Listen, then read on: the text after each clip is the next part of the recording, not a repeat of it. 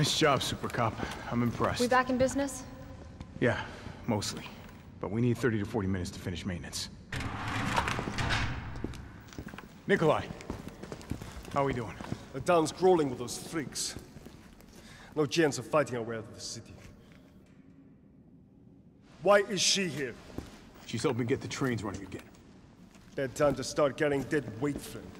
She's unreliable. Can't pull the trigger when it counts. Hey, take it easy. She'll get you killed. Sorry about that. Everyone's a little worked up. You're UBCS? Yeah, careful, careful. Come on, don't look at me like that, all right? I'm not unaffected. let's take care no, no, no, no, wait, please! What the fuck? He was infected. He might have been infected. Oh, S.T.A.R.S. this soft. No wonder so many of you dead. And what are you, UBCS? Killing your own people? He would have turned. There's your sense of self-preservation.